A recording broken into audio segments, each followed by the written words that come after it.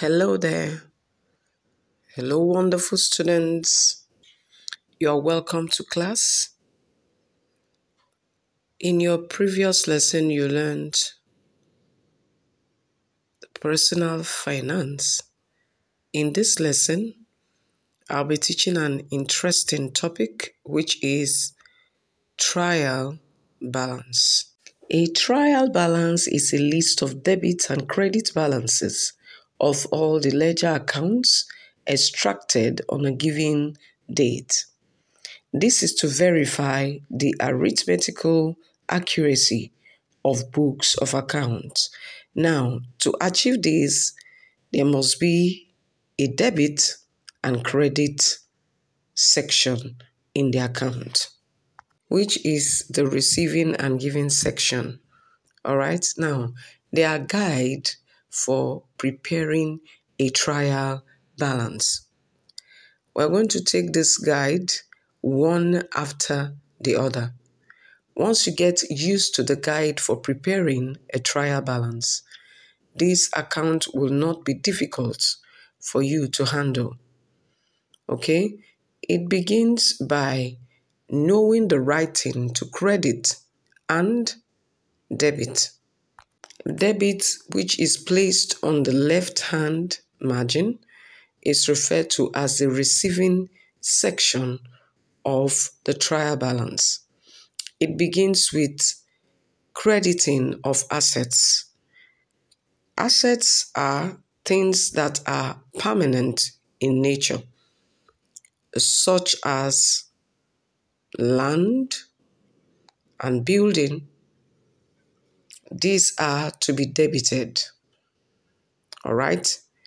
In your trial balance, it has to be debited, which is placed on the left hand of your account.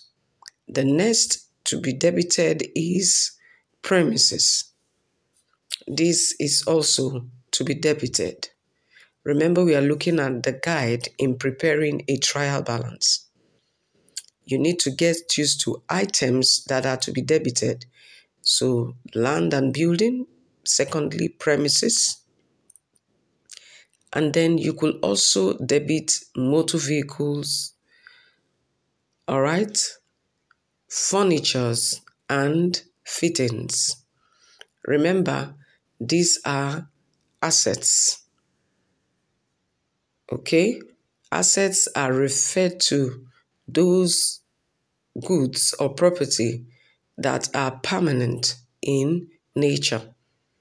All right. And then expenses.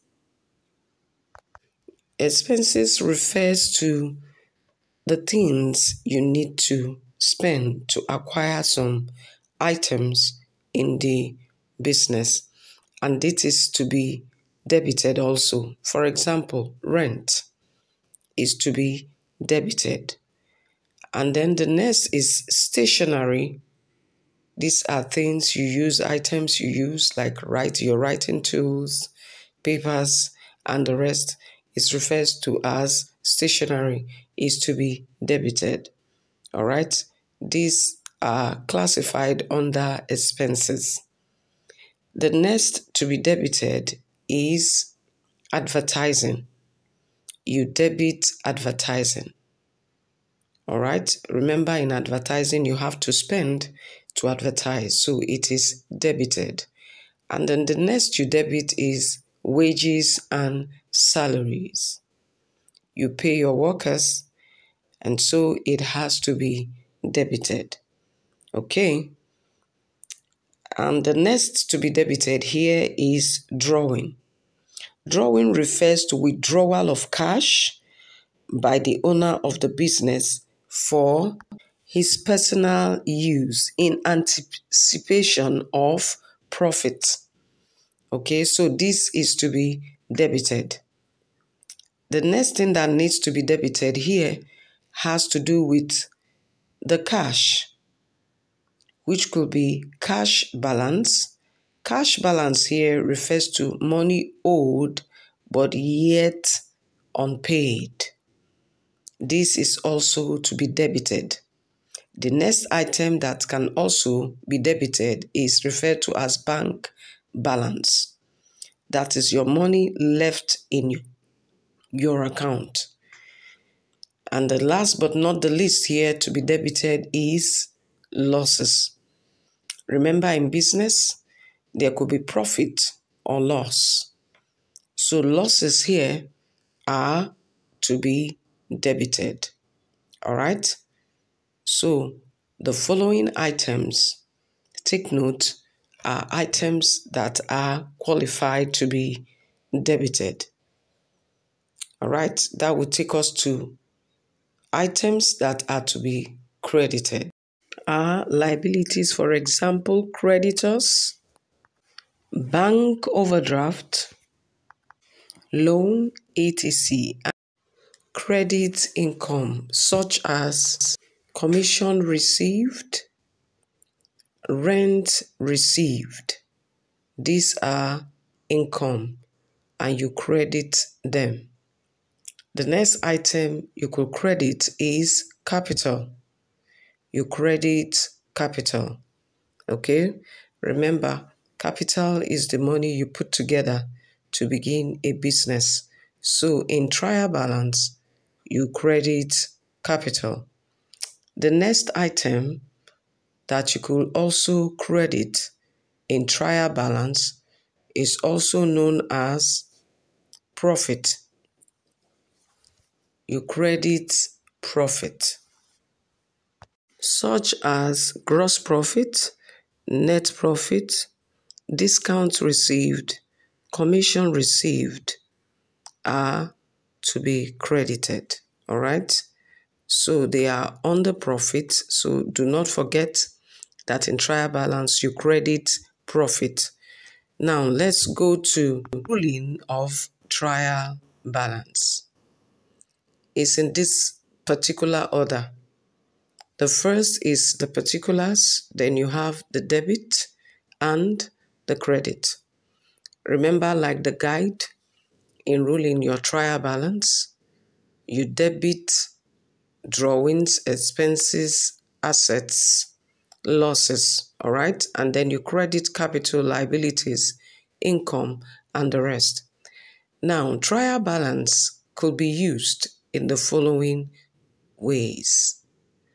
Why do we use trial balance? Number one, it shows ledger items at a glance.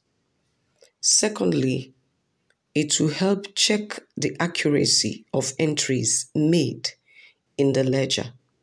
It also gives first-hand information to the bookkeeper about errors committed. That will lead us to errors that do not affect trial balance the first transaction means transaction completely omitted from the book. The second means transaction posted to a wrong account. The third means double entry observed but made wrong entry. All right, I'll explain that later. Let's listen to this.